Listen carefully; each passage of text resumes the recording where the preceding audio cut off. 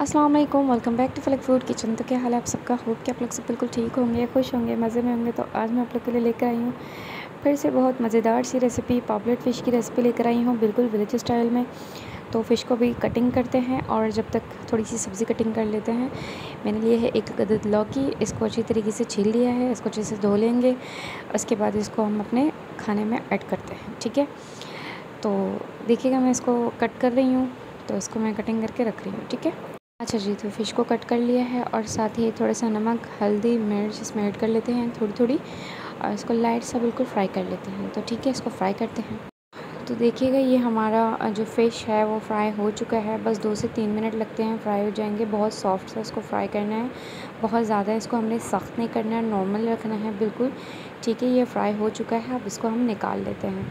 और जो प्याज हमारा जो है ना, इसी तेल में हम प्याज ऐड कर देते हैं।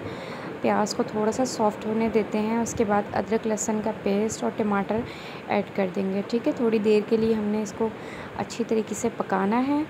उसके बाद जब टमाटर थोड़ा सा सॉफ्ट हो जाए तो हमने इसमें ऐड करना है फ़िश का मसाला आ, हल्दी मिर्च और जी थोड़ा सा हमने इसमें ऐड कर देना है कसूर मेथी मलेर मिर्च और फिर इसको थोड़ी देर के लिए हमने बहुत अच्छी तरीके से इसको भून लेना है।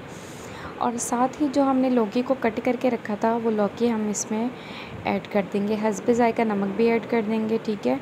उसके बाद लौकी को हमने बहुत अच्छी तरीके से इसमें भून लेना है।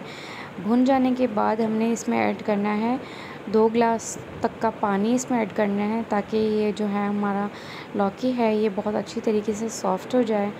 उसके बाद हमने जो है फ़िश फ्राई करके रखा था, वो फ़िश हमने इसके ऊपर से ऐड कर देना है, ठीक है? ज़्यादा हिलाना नहीं है फ़िश ऐड करने के बाद, ताकि फ़िश टूट ना जाए। तो देखिएगा हमारा जो है पॉम्पलेट फ़िश का सालन जो है बिल्कुल रेडी हो गया है। जिन्होंने मेरे चैनल को लाइक नहीं किया, सब्सक्राइब नहीं किया, मेरे चैनल को लाइक कर लीजिएगा, सब्सक्राइब कर लीजिएगा, बेल आइकन को प्रेस करना नहीं भूलिएगा। फ्रेंड्स एंड फैमिली में लाजमी मेरी वीडियो को शेयर कीजिएगा।